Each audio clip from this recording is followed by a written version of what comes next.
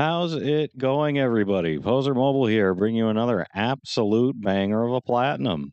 Today we've got another one from Xitilon called Baroll, and you're looking at three bucks on the PlayStation Store with four total stacks. It's a Xitilon game, people, so you know what that means. Your only friend is your cross button, and you might need to take a break at some point so you don't snap your controller in half, though this one really isn't that bad.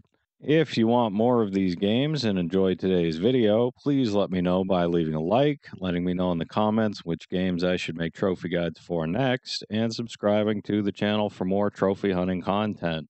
All right, so this is an auto runner where pressing cross will make you jump and holding it will slow you down.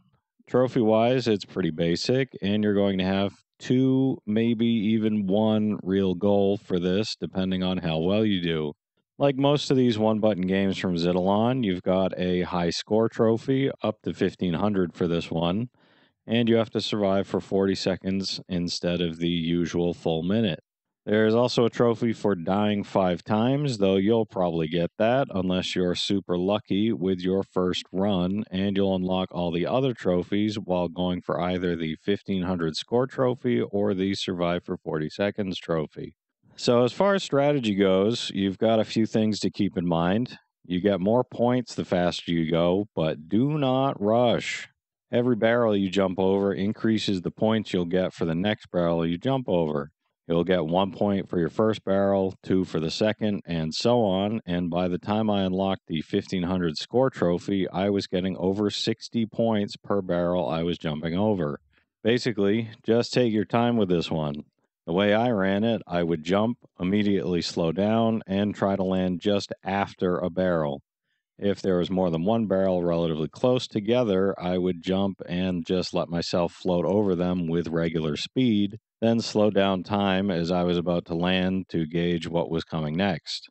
It'll probably take a few tries to get down, but there's a definite rhythm you can get into once you get a handle on slowing things down. Doing it this way, I managed to get to over 1500 points in right around a minute. So if you focus on going for the score trophy, you'll probably get the survival trophy right along with it. As usual, this is another one of those one button games that might just click in your head and you get it in a few minutes. It took 10 minutes for me to get everything unlocked. Or this might end up sitting in your trophy list as an unfinished, hated platinum that you remember for the rest of your life. Either way, your old pal Pozermobil believes in you. If I can get this done, you absolutely can too, because I really don't have even the slightest bit of patience for these types of games, and I still managed to get through it.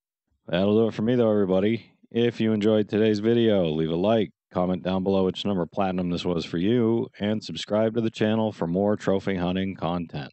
This was number 935 for me.